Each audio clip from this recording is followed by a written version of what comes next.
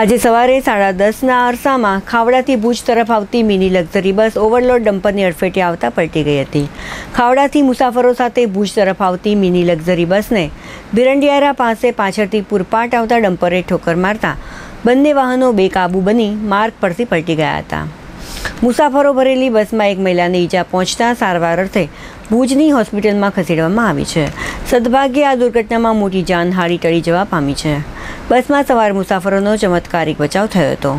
ઉલ્લેખનીય છે કે આ માર્ગે દોડતા ઓવરલોડ વાહનો મામલે અવારનવાર અનેક રજૂઆતો થતી રહે છે. પરંતુ સંબંધિત તંત્ર દ્વારા યોગ્ય કાર્યવાહીના અભાવે અકસ્માતના બનાવ સાથે માર્ગો બિસ્માર બનતા હોવાની ફરિયાદ ઉઠતી રહે છે.